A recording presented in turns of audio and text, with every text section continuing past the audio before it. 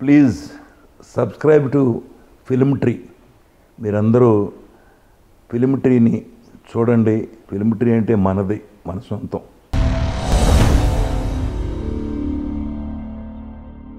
ఆ టైంలో లక్ష రూపాయలకు సంబంధించి అంటే మీరు ఏదన్నా ల్యాండ్ కొనుక్కుంటే ఇప్పుడు వేలకు వందల కోట్లు అయి ఉండేది అనుకుంటా కదా? అదే చెప్తున్నా? ఆంధ్రా క్లబ్ పక్కనే. నాలుగు వేలు గ్రౌండ్. గ్రౌండ్ అంటే రెండు వేల నాలుగు వందలు. అడుగులు. మనం ఇక్కడ ఉన్నాం ఎన్నాళ్ళు యాక్ట్ చేస్తామో తెలవదు. ఎప్పుడు వెళ్ళిపోతామో తెలవదు. అని ఒక్క రూపాయి కూడా ఇన్వెస్ట్ చేయలే. ఎక్కడ? బట్ వేషం వేయాలంటే స్టైల్గా బతకాలి. కారు. కారు పెట్టాం. మంచి ఇంట్లో ఉండాలి. ఆ రోజుల్లోనే పన్నెండు వందల రూపాయలు ఇంట్లో ఉన్నాం. ఇవన్నీ చేస్తే ఒక ఒక డబ్బింగ్ సినిమా చేశాం. ఆ డబ్బింగ్ సినిమా ఫ్లాప్ అయింది. కారు కొంటే కారు యాక్సిడెంట్ అయింది. సో ఆ లక్ష రూపాయలు అలా అయిపోయినాయి. ఆ తర్వాత ఏం చేయాలో తెలవాల. పదిహేను రూపాయలకి అద్దెకి వెళ్ళిపోయాం ఆ ఇంట్లో నుంచి. అక్కడే ఆడపిల్లలు ఇద్దరు పుట్టారు. పదిహేను రూపాయలే అద్దె. అదేనండి అలా లాక్కొచ్చే టైంలో నెమ్మదిగా ఈ వేషాలే వేరే పని లేదు. అన్నీ పోయినాయి. ఇప్పుడు ప్రొడ్యూసర్ పోయింది. ప్రొడ్యూసర్ అయితే ఏదో వేషాలు వచ్చేస్తాయని ఒక ఆశ. కారు గీరు మెయింటైన్ చేసి మంచి ఇల్లు మెయింటైన్ చేస్తే వస్తాయని రోజుకి ఒక ఏడెనిమిది కంపెనీలు తిరిగేవాళ్ళం.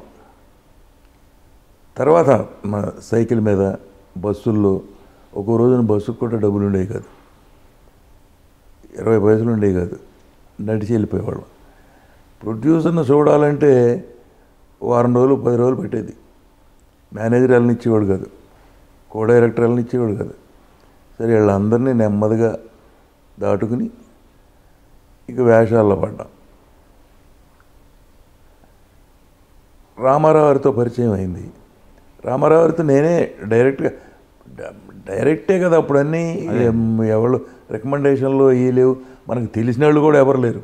పన్నెండు వందల రూపాయలు ఇంటి నుంచి పన్నెండు రూపాయలు పదిహేను రూపాయలు ఇంటే. పదిహేను రూపాయలు. పదిహేను రూపాయలు ఇంటికి షిఫ్ట్ అయినప్పుడు అప్పటికి ఇద్దరు ఆడపిల్లలు పుట్టారు అక్కడ. అవును. మీ మిస్సెస్ ఎందుకండి ఈ కష్టాలు వెళ్ళిపోదాం అని ఎప్పుడు మిమ్మల్ని అబ్జెక్ట్ చేయటం కానీ అనలేదా? ఎందుకంటే పైగా మీది లవ్ మ్యారేజ్ కదా. మా మాది లవ్ మ్యారేజ్. మా మిషెస్ని అప్రిషియేట్ చేయాలి.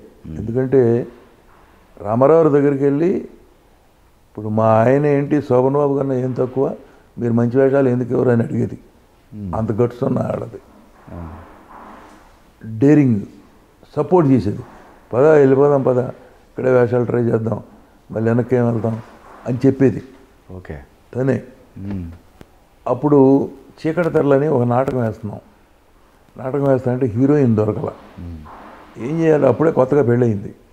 ఏం చేయాలి? ఏం చేయాలి? ఏం చేయాలి? ఆలోచిస్తా "ఉమ్, నువ్వేంటి నీ పొజిషను ఈ వేషం చదువుతావా అన్న? "ఆ, చదువుతానంది మనం ఏదంటే అది డేరింగ్ అనమాట ఇక. వేసి ఆ వేషం హైదరాబాద్లో వేసాం చీకటి తెరలో. చేస్తే బెస్ట్ ఆర్టిస్ట్ వచ్చింది ఆవిడ. ఓకే. ఇవాళ కూడా కప్పు ఉంది ఇంట్లో. ఓకే. అంత ఎంకరేజ్ చేసేది నన్ను. ఓకే. ట్రై చేయమనేది. ట్రై చెయ్యి వస్తాయి వాళ్ళకి అవుతాయి రేపు వస్తాయి. బాధలు పడ్డా కూడా. అవసరమైతే పుస్తులు కూడా తాకట్టు పెట్టేసేది. మంచి సపోర్ట్ అప్పుడు పొజిషన్ అయితే కదా అదేనండి బస్సు ఎక్కడానికి ఇరవై పైసలు ఉండేవి కాదు.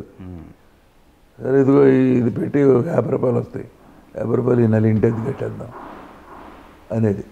అంత డాషింగ్ అనమాట అంత సపోర్ట్ చేసేది నాకు. ప్రతిదీ. ఆవిడకి ఇచ్చిన మాట ప్రకారం మీరు ఈ వ్యసనాలకు వేటిక లోను కాల. బయలుదేరి వచ్చే రోజునే చెప్పిందిగా. అక్కడికి వెళ్తే అంతా పాడైపోతారంట అంటే నేను నీకు ప్రామిస్ చేస్తున్నాను. నేను మందు తాగను. అమ్మాయిలంబడి తిరగను.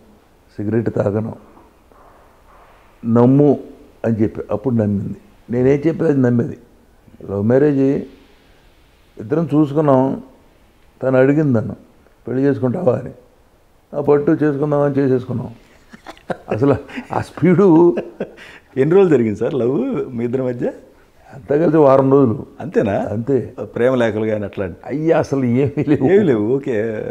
తనే అడిగింది నన్ను. ఓకే. పెళ్ళి చేసుకుందామా ఓకే. చేసుకుందాం పద అని చెప్పి ఫ్రెండ్స్ అందరూ కలిసి బెజవాడలో కళ్యాణ మండపం ఉంటే అది బుక్ చేసి దానిలో పెళ్ళి చేసేసుకున్నాం. కానీ పెద్ద ఫ్యామిలీ కదా సార్ ఒప్పుకున్నారా? మీది మీది చాలా పెద్ద ఫ్యామిలీ. మీ వాళ్ళంతా. ఒప్పుకోలా. చెప్పి వాళ్ళకి తెలిసేదాకా ఎక్కడ ఉంది? పెళ్ళి చేసుకుని కాపురం పెట్టేస్తే. అవునా? ఓకే. మాది పెద్ద ఫ్యామిలీ. ఏడుగురు బ్రదర్స్ మా నాన్నవాళ్ళు నలుగురు సిస్టర్స్. అవును. పదకొండు మంది ఉండేవాళ్ళు. కాకపోతే ఏంటంటే ఎవరికి చదువు లేదు. అంతా వ్యవసాయమే. నేనేంటంటే మన పిల్లలకి చదువు చెప్పించాలి అని చెప్పి నేను వాళ్ళ మీద కాన్సన్ట్రేట్ చేశా. ఏమైనా సరే వీళ్ళని బాగా చదువు చెప్పించాలి. అందుకని ముగ్గురు పిల్లలు కూడా పోస్ట్ గ్రాడ్యుయేట్లు అయ్యారు. బాగా చదువుకున్నారు. హ్యాపీగా ఎవరు బతుకాళ్ళు బతుకుతున్నారు. ఇప్పుడు ఇక అమ్మాయిలు ఇద్దరేమో అమెరికాలో ఉన్నారు. అందుకని రవి కరోనా పీరియడ్ కదా బాగాలేదు కదా నువ్వు మా ఇంటికి వచ్చే అన్నాడు. రవి ఇంటికి వచ్చేసి రవి ఇంట్లో ఉన్నా.